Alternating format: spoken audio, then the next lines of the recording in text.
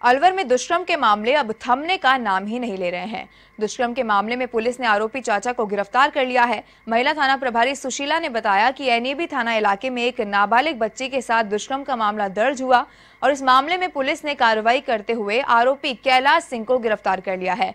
आरोपी रिश्ते में पीड़िता का चाचा लगता है।